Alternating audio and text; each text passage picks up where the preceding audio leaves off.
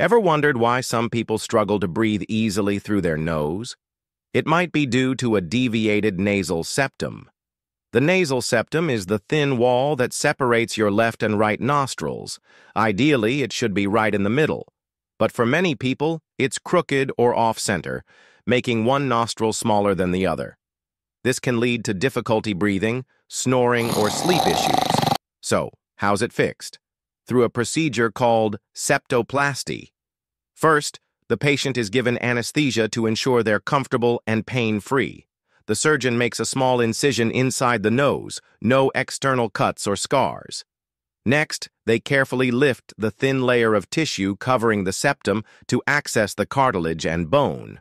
The crooked or deviated parts are then trimmed, reshaped, or even removed to straighten the septum.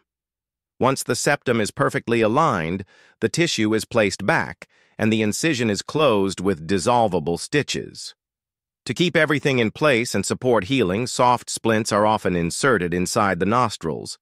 And just like that, better breathing and no visible scars. Cool, right?